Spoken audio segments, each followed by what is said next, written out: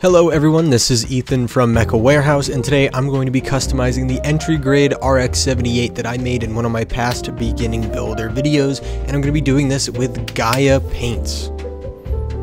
And these are all of the pieces. I did hit them with a uh, Evo Surfacer first to make sure that the paint actually stuck to them, but we're just going to get right into the actual airbrushing part of the video. And what I did is after the surfacer, I did a light gray underneath and then a white on top, trying to give it more of like that shadowy feel to it.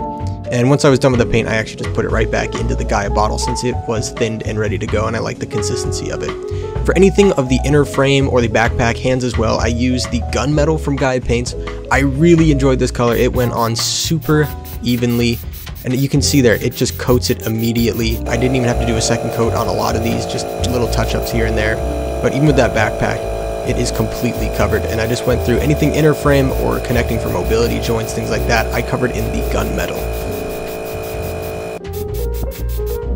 And as you can see, I did the fist there too, and the fist looks absolutely fantastic. Now I moved on to the primary metallic red. I used the primary metallic red, yellow, and blue on this build for the RX-78. And as you can see here, I think I may have thinned it a little bit too much as it's pooling around the edges of the shield, but I just wanted to make sure I got everything coated as evenly as possible, and I could go in for a second and or third coat if needed. You can see right here, I think that's three coats of the red, and it's super bright, and it shines through. I really like it, and even on the shield, I think this is also the third coat. You can see here at the end that it really does come out nice and even, and I love the finished product of it. Now between each spraying uh, of colors, I was cleaning it out just with some isopropyl alcohol in between, and then I would also run some water through it. But we now move on to the yellow, and the yellow actually went on very smoothly, just kind of like the uh, the gunmetal. I guess I got the thinning right down, but it covers it really nicely, which I was kind of concerned about since yellow is kind of like the lighter of the colors, but it went on really smoothly, really nicely, and I really like the shine that it gave to it.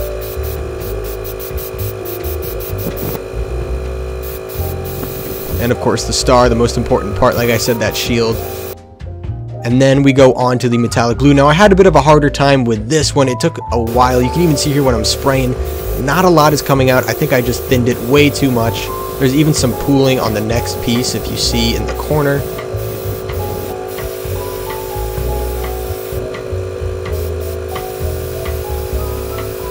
Yeah, so right on that bottom right there, you can kind of see the pooling there. It created a weird little effect on it on the final piece, but it isn't that noticeable. I was able to cover it up with some more of the paint, but this is the final painting product. You see I used everything just on the, the sticks and stuck them into styrofoam, but I separated them all out for ease of assembly. So now it was time to whip out the instructions for the second time around and start building.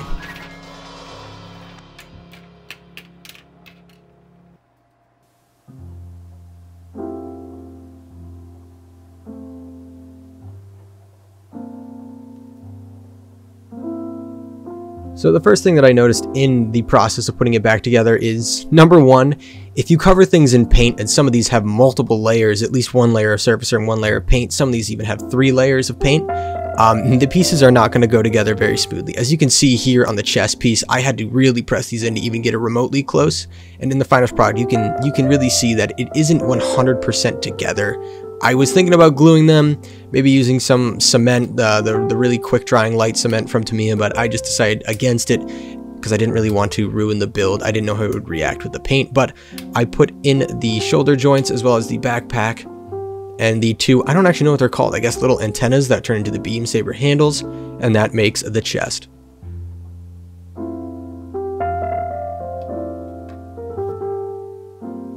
Moving on now to the arms, uh, these were pretty self-explanatory. They went together easily. They weren't as hard as the head or the chest area, but still there were some difficulties. I found that I didn't separate all the pieces correctly at the first time, but I mean, it's the arms of an entry grade. They were pretty easy put together.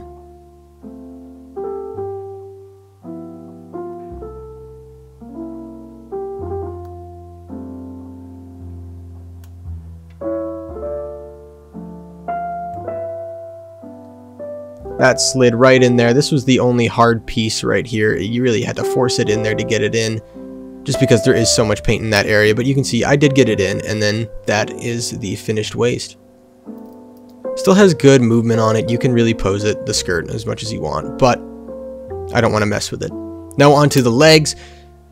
Snap those into place. I did make the feet off camera because I was having some trouble getting it in the right way and I didn't want to mess around with it on camera, but the legs came out really nice too. They have a great finish to them as well. I was really happy with how even the paint job is. There are some spots that I miss with the paint job, but I think for a first time I actually did a pretty good job. And so now here I am assembling the Gundam, putting the legs, the waist, the chest, and both arms, as well as the head.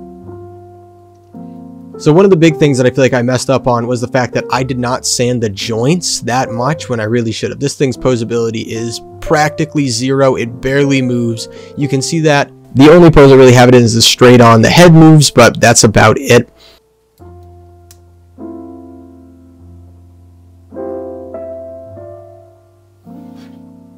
But now it's time to assemble the shield, which once again was my favorite part of the build, even though it is probably the simplest part. Um, that main red part of the shield, it took me forever to actually get it into the surrounding white part just because there was so much paint. I actually ended up having to sand the underneath part of the red part of the shield. But final product came out great. I love the shine. It looks great. And there is the RX-78 with its shield ready to get some details put in on it. So for this, I just used some cotton swabs and a cap of water, and I am going to be using the HG The Origin RX-78-2 Delpi decals. Uh, they were just some that we had in the warehouse, and I thought that these would go better. Obviously, there isn't any entry-grade decals to go with the kit, so I just decided to grab these and try to make it work. Also, thank you to whoever put up the manual of this kit so I could actually use the sticker guide. First things first, I'm going to use the hobby knife that I got to cut out the RX-7802. I then submerge that in water for anywhere from 15 to 30 seconds and take it out so that it's nice and wet and it comes right off of the paper. And as you see here, I just use the Q-tip to apply it to the body of the Gundam. And then I'll just mess around with the placement of it until I really like where it is. And then I will take the Q-tip and rub it around a little bit just to make sure it is set. I didn't use any mark softener or setter for this. Maybe I should have, but I didn't think of it until the very end, and at that point I was already going through. But as you can see here, this is all just placing decals that I got.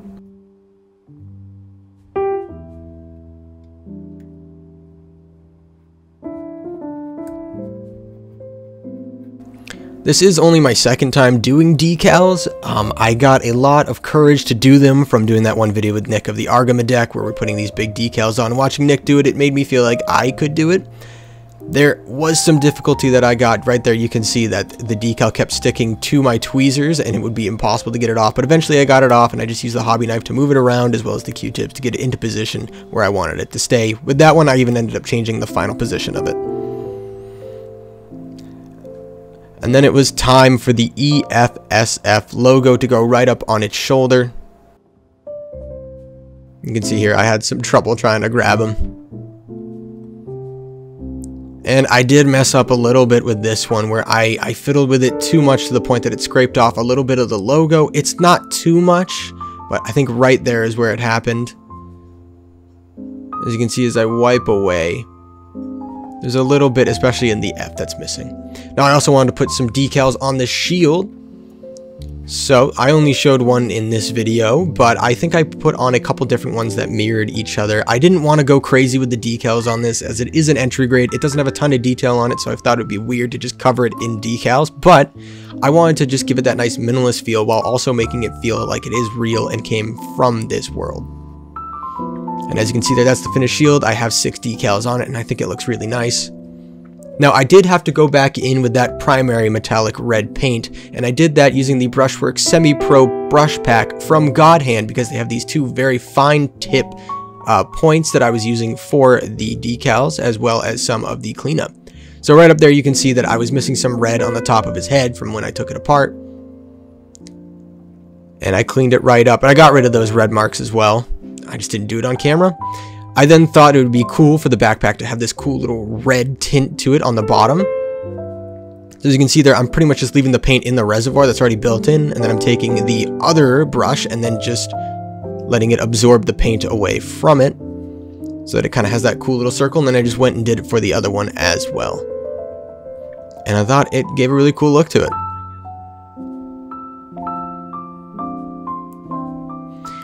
Now, I wasn't sure what to do for the panel liner, so I ended up using this Vallejo Mecha Color Pure Black just for some of the panel lining per se.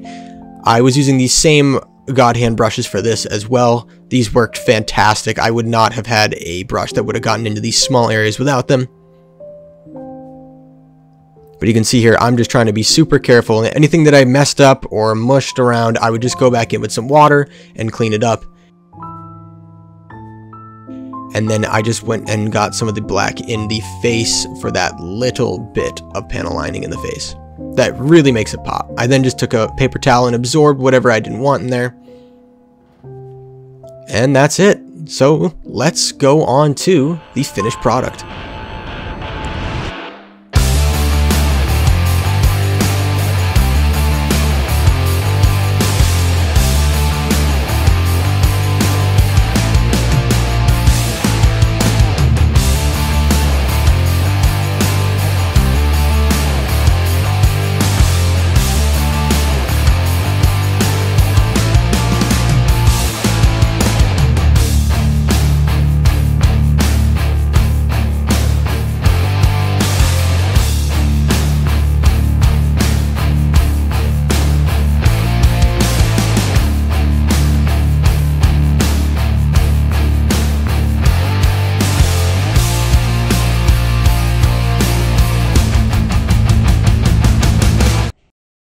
Thank you so much for watching this video. I put a ton of work into this. If you enjoyed it, please leave a like as it does help out the channel.